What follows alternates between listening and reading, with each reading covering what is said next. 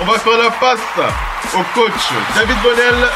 Est parquet de la radio off. Euh, à toi le coach pour euh, le pour le shoot ce soir. C'est le shoot, hein C'est le shoot ce soir. Oui, ah oui, oui. Alors ce soir, ce soir, tu dois pas me, me faire la passe, mais le. Enfin, remarque aussi, puisque on dit toujours euh, qu'il faut une bonne passe pour faire un bon shoot. Donc, Oui. si tu me fais la passe, j'espère faire un bon shoot, puisque puisque ce soir nous allons euh, essayer de réfléchir ensemble. C'est quand même un sujet euh, assez explosif, puisque bon, comme tout le monde le sait, mais je, crois que c'est important de le rappeler. Sans marquer les paniers, on peut pas gagner un match de basket. S'il y a bien quelque chose qui est très important dans notre sport, c'est bien le tir, puisque c'est la, finalité d'une attaque.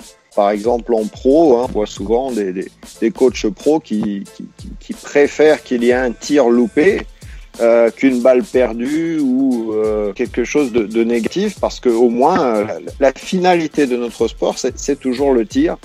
Qu'il rentre ou pas, il faut arriver à, faire le meilleur tir possible. Il y a beaucoup de choses, hein, énormément de choses à dire sur le tir. hein. On ne pourra pas ce soir euh, parler de tout parce que le tir c'est vraiment très vaste, mais c'est un sujet euh, dont je voulais absolument parler parce que euh, j'ai beaucoup de remontées de joueurs depuis quelque temps sur des, sur des problèmes qu'ils rencontrent par rapport au tir. Alors souvent, euh, souvent par rapport au tir à mi-distance. hein, donc euh, on- la première chose que je voudrais dire, c'est on doit définir deux choses. On doit définir le, le tir à mi-distance et les autres tirs. Même s'il y a des ponts entre les deux, je vais parler surtout du tir à mi-distance ce soir. Oui. Mais c'est vrai que je trouve qu'en France, par exemple, il y a peu de coachs qui travaillent tous les tirs. Trouve qu'on délaisse beaucoup les, les tirs en cours et je trouve qu'il y a énormément de tirs comme le, flotteur, différents laybacks, etc., qui, ne sont pas travaillés en France. Je vais pas m'éterniser là-dessus, mais ça, ça peut être une piste aussi de, de réflexion. Dans la formation du joueur aujourd'hui, je trouve on ne travaille pas beaucoup euh, les différents tirs. Ceci dit, revenons au tir à mi-distance. Il y a une chose qu'il faut vraiment, euh, vraiment faire la différence quand on parle de l'apprentissage du tir, c'est faire la différence entre la gestuelle et l'adresse. Je crois que c'est un point fondamental parce que souvent les jeunes joueurs, hein, entre, entre 10 et, et, et 18 ans, veulent tout de suite être adroits alors qu'ils n'ont pas une bonne gestuelle pour tous ces joueurs, je dirais qu'il faut, il faut qu'ils soient patients. Aujourd'hui, tout le monde voit Steph Curry tirer à 12 mètres et ça rentre. Mais euh, ce, que, les joueurs ne, ne comprennent pas, c'est que euh, quand on débute le basket à, à 10 ans ou à 12 ans, on ne peut pas tirer à des distances invraisemblables comme celle-là en étant adroit. Et Oui. la- quasiment tous les joueurs que je forme ont tous ce problème-là. Alors c'est sûr, c'est pour le côté loisir, le côté se faire plaisir, tirer de loin pour voir est-ce que je peux mettre un panier à trois points. Oui, c'est bien. Et puis parce que il faut, il faut toujours être dans, dans, dans le plaisir au basketball. Mais quand on est à l'entraînement, je crois que le- le- les jeunes joueurs doivent vraiment faire attention à une chose, c'est que il y a des distances où je ne peux pas tirer parce que je n'ai pas la force, parce que je n'ai pas assez travaillé et que je, parce que je, je n'ai pas encore ma, mes, mes qualités physiques d'adulte, parce que je n'ai pas ma taille adulte, etc. Et donc, tirer de très loin, tout de suite, c'est- c'est c'est irréaliste.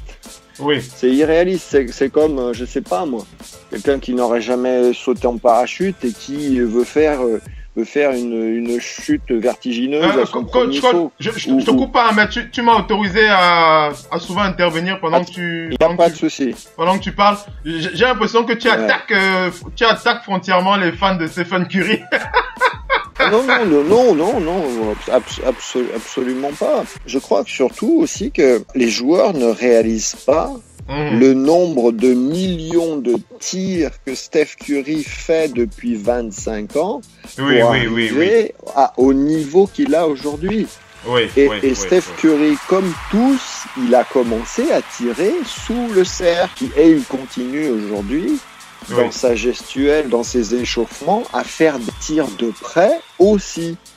Et qu'il en a besoin aussi. Et qu'aujourd'hui il- il- il- on, on voit toujours on pense dès qu'on pense à Steph Curry on voit toujours les tirs de loin. Steph Curry, ça n'est pas que ça. C'est déjà quelqu'un qui a une une très bonne dextérité dribble et tir. Et aujourd'hui, c'est quelqu'un, par exemple, qui a une maîtrise du lay-up et du lay-back avec des rebonds sur la planche qui ont des angles hallucinants avec une, rotation du ballon.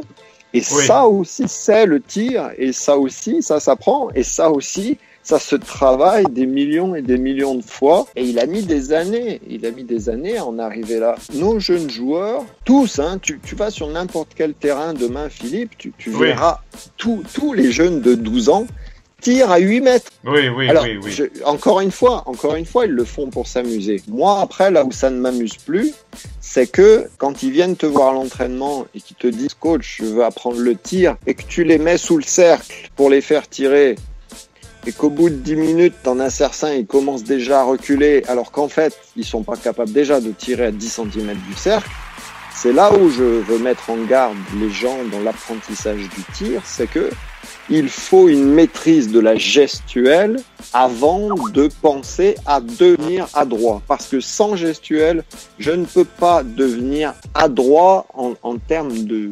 d'optimisation. Alors, il y a des contre-exemples de gens qui ont des gestuels terribles euh, et, qui sont absolument hors standard.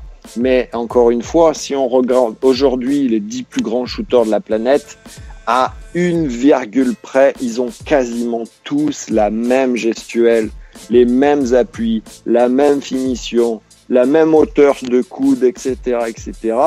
donc, il y a quand même des standards qui sont pas dans les standards de tous les basketteurs de tous les pays. Hein, je, je, reviendrai là-dessus après. Mais il faut passer par la gestuelle avant de, de vouloir devenir adroit.